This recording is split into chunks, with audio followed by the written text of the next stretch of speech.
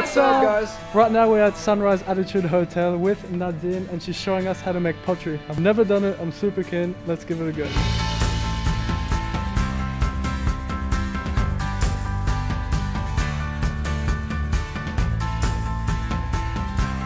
We've been here for one hour right now and it literally feels like five minutes. This is so fun. I feel like I'm a kid again. It is so stress relieving. And what's cool about this as well is that there are no rules. You can make whatever you want and start again whenever you want.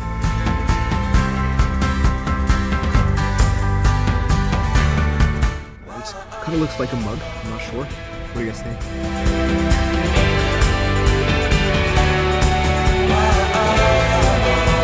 So today's workshop has actually come to an end and I can say I had so much fun. I had never done this before so thank you so much Nadine for sharing your passion with us. You're welcome. It was so nice to have you guys. Yeah.